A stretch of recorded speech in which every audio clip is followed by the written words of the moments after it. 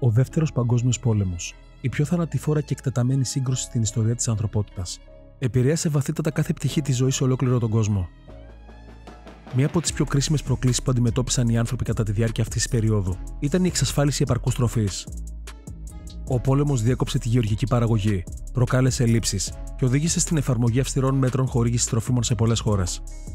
Σε αυτό το βίντεο θα διερευνήσουμε λεπτομερώς τι έτρωγαν οι άνθρωποι για να επιβιώσουν κατά τη διάρκεια του Δευτέρου Παγκοσμίου Πολέμου, εμβαθύνοντας τα συστήματα δελτίων, στις δημιουργικές μαγειρικές στρατηγικές, στον αντίκτυπο στη δημόσια υγεία και στη διαρκή κληρονομιά των διατροφών κατά τη διάρκεια του πολέμου. Ένα από τα καθοριστικά χαρακτηριστικά του εφοδιασμού με τρόφιμα κατά τη διάρκεια του πολέμου ήταν το δελτίο τροφίμων. Οι κυβερνήσεις σε πολλές εμπλεκόμενες χώρες επέβαλαν συστήματα δελτίων για να εξασφαλίσουν τη δίκαιη κατανομή των σπάνιων πόρων. Το δελτίο αφορούσε τον περιορισμό της ποσότητας των βασικών αγαθών που μπορούσαν να αγοράσουν τα άτομα, συμπεριλαμβανομένων ειδών διατροφής, όπως το κρέας, η ζάχαρη, το βούτυρο και ο καφές. Αυτοί οι περιορισμοί σήμαιναν ότι οι άνθρωποι έπρεπε να αρκεστούν σε σημαντικά μειωμένες ποσότητες αυτών των βασικών αγαθών. Το δελτίο ανάγκασε τους ανθρώπους να γίνουν δημιουργικοί στην κουζίνα. Με περιορισμένες προμήθειες, οι νοικοκυρές έπρεπε να βρουν καινοτόμους τρόπους για να φτιάξουν θρεπτικά και ικανοποιητικά γεύματα. Οι λαχανόκηποι, ευρέω γνωστοί ως κήποι νίκης, έγιναν ευρέω γνωστοί. Αυτοί οι κήποι επέτρεπαν στις οικογένειες να καλλιεργούν τα δικά τους προϊόντα, μειώνοντας την πίεση στα δελτία τροφίμων. Επιπλέον, οι άνθρωποι πειραματίστηκαν με υποκατάστατα. Προέκυψαν συνταγές που αντικαθιστούσαν τα σπάνια συστατικά με πιο αυτόνα ή εναλλακτικά είδη. Για παράδειγμα, τα κέικ καρότου έγιναν δημοφιλή στη Βρετανία, χρησιμοποιώντας τα καρότα ως γλυκαντικό λόγω της έλλειψης ζάχαρης. Οι άνθρωποι έμαθαν να ψήνουν χωρίς αυγά και να χρησιμοποιούν γάλα σε σκόνη αντί για φρέσκο γάλα. Αυτές οι προσαρμογές ανέδειξαν την αντοχή των ατόμων που αντιμετώπιζαν αντικσότητες. Οι κονσέρβες και τα επεξεργασμένα τρόφιμα απέκτησαν ιδιαίτερη σημασία κατά τη διάρκεια του πολέμου. Τα προϊόντα αυτά είχαν μεγαλύτερη διάρκεια ζωής, καθιστώντας τα κατάλληλα για αποστολή στου στρατιώτε στο μέτωπο και για αποθήκευση στο σπίτι. Τα κονσερβοποιημένα κρέατα, λαχανικά και φρούτα έγιναν βασικά είδη διατροφής σε πολλά νοικοκυριά. Τα επεξεργασμένα τρόφιμα, όπως οι σούπες σε σκόνη και ο στιγμιαίος καφές, προσέφεραν άνεση και διατροφή σε μια εποχή που το μαγείρεμα περίπλοκων γευμάτων ήταν πολυτέλεια. Με την έλλειψη των εμπορικά διαθέσιμων αγαθών, οι άνθρωποι στράφηκαν στη φύση για τροφή. Η αναζήτηση άγριων μούρων, μανιταριών και βρόσιμων φυτών έγινε κοινή πρακτική, ιδίως στις αγροτικές περιοχές.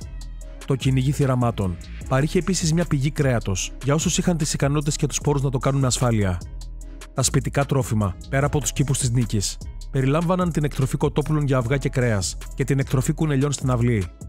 Αυτές οι γεωργικές προσπάθειες μικρής κλίμακας συνέβαλαν στη συμπλήρωση των λιγοστών τροφίμων και παρήχαν απαραίτητα θρεπτικά συστατικά. Στις περιοχές που επλήγησαν άμεσα από τον πόλεμο, όπως οι κατεχόμενε χώρες ή οι περιοχές που επλήγησαν από βομβαρδισμούς, η έλλειψη τροφίμων ήταν έντονη. Διεθνείς οργανισμοί, όπως η Ερυθρός Σταυρός και η UNICEF, διαδραμάτισαν ζωτικό ρόλο στην παροχή ανθρωπιστικής βοήθειας. Δέματα τροφίμων που περιείχαν ήδη πρώτης ανάγκης, όπως κονσερβοποιημένο κρέας γάλα σε σκόνη και αποξηραμένα φρούτα, στάλθηκαν σε οικογένειες που είχαν ανάγκη, προσφέροντας μια σανίδα σωτηρίας μέσα σε αυτές τις δύσκολες συνθήκες. Σε διάφορες περιοχές υπήρχαν διαφορετικές προκλήσεις, γεγονός που οδήγησε σε διαφορετικές διατροφές, ανάλογα με την τοπική διαθεσιμότητα. Στις Ηνωμένες Πολιτείες, οι κήποι νίκης και κυβερνητικές εκστρατείες ενθάρρυναν την αυτονομία. Στο Ηνωμένο Βασίλειο, η εκστρατεία Σκάψτε για την νίκη προέτρεψε τους πολίτες να καλλιεργούν τα δικά τους τρόφιμα. Στη Γερμανία, όπου ο αντίκτυπος του πολέμου ήταν έντονα αισθητός, η αναζήτηση τροφή και η εξάρτηση από τα βασικά είδη διατροφής ήταν απαραίτητα για την επιβίωση. Η περιορισμένη ποικιλία και ποσότητα των διαθέσιμων τροφίμων είχε σημαντικές συνέπειες για τη δημόσια υγεία. Οι διατροφικές ελλείψεις έγιναν ευρέως διαδεδομένες, οδηγώντας σε καταστάσεις όπως η ανεμία και οι ελλείψεις βιταμινών. Ο υποσυτισμός επηρέασε ευάλωτους πληθυσμούς, ιδίως τα παιδιά, τις έγκυες γυναίκες και τους ηλικιωμένους. Παρά τις προκλήσεις αυτές, οι κοινότητες συχνά ενώθηκαν για να μοιραστούν τους σπόρους και να υποστηρίξουν όσους είχαν ανάγκη, επιδεικνύοντας αξιοσημείωτη ανθεκτικότητα απέναντι στις αντικσότητε. Με το τέλος του πολέμου, οι χώρες αντιμετώπισαν το μνημειώδες έργο της ανοικοδόμησης των οικονομιών και των επισητιστικών του συστημάτων. Τα αμέσως μεταπολεμικά χρόνια συνεχίστηκαν τα δελτία τροφίμων σε πολλά μέρη, καθώς τα έθνη εργάζονταν για να σταθεροποιήσουν τις οικονομίες τους και να παρέχουν στους πληθυσμούς τους. Με τη διεθνή βοήθεια και την εφαρμογή προγραμμάτων ανάκαμψης, ο εφοδιασμός σε τρόφιμα έγινε σταδιακά πιο σταθερός.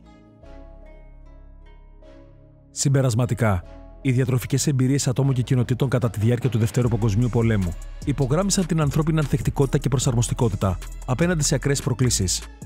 Το δελτίο τροφίμων, το δημιουργικό μαγείρεμα, η αναζήτηση τροφής και εξάρτηση από εναλλακτικές πηγές πρωτενη έγιναν ο κανόνας για εκατομμύρια ανθρώπους σε όλο τον κόσμο. Παρά την έλλειψη πόρων, τα άτομα και οι κοινότητες επέδειξαν αξιοσημείωτη εφευρετικότητα, επινοητικότητα και αλληλεγγύη, αναδεικνύοντας την ικανότητα του ανθρώπινου πνεύματος να επιμείνει ακόμη και στις πιο δύσκολες συνθήκες. Η κληρονομιά των διατροφών κατά τη διάρκεια του πολέμου εξακολουθεί να επηρεάζει τις μαγειρικές πρακτικές, τονίζοντας τη σημασία της προσαρμοστικότητας και της βιωσιμότητας μπροστά σε βέβαιους καιρούς. Ο αντίκτυπος του Δευτέρου Παγκοσμίου Πολέμου στο φαγητό παραμένει μια απόδειξη της διαρκούς ανθρώπινης ικανότητας να βρίσκει τροφή, ακόμη και μέσα στις πιο δύσκολες συνθήκες. Με ποιο τρόπο μπορούν τα μαθήματα του παρελθόντος να επηρεάσουν τις σημερινές μας επιλογές, καλλιεργώντας την αίσθηση της ευγνωμοσύνης, της προσοχής και της βιωσιμότητας, τον τρόπο με τον οποίο τρέφουμε τους εαυτούς μας και τις κοινότητέ μας; Γράψτε τα σχόλιά σας, κάντε εγγραφή στο κανάλι μας και μην ξεχνάτε να πατήσετε το καμπανάκι που βρίσκεται δίπλα από το κουμπί της εγγραφής για να ειδοποιήσετε όταν ανεβαίνει νέο βίντεο. Ευχαριστούμε πολύ